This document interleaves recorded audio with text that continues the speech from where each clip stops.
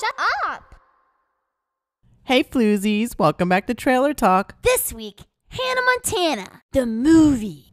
Girl, I can't even dye my hair pink these days without hearing about Hannah freaking Montana. Now she's gonna be on the big screen? Ugh. Yep.